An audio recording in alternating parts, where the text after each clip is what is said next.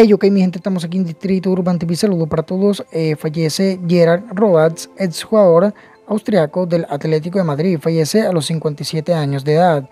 El exjugador eh, Gerard Rodatz, internacional con Austria y futbolista del Atlético de Madrid durante la temporada 1990-1991, ha fallecido a los 57 años de edad tras una causa de un trágico accidente.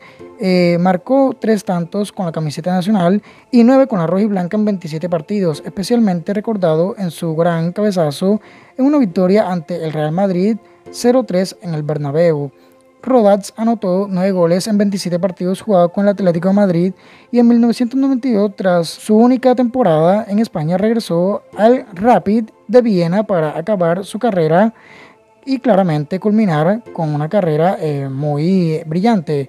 En 1989 fue máximo goleador de la Bundesliga austriaca con 35 goles y fue elegido mejor futbolista del año en su país. Su papel con la selección de Austria también fue determinante para poner en el plano internacional y casualmente un gol a España en un amistoso hizo que el Atlético se fijara en él para incorporarse en su plantilla en 1990.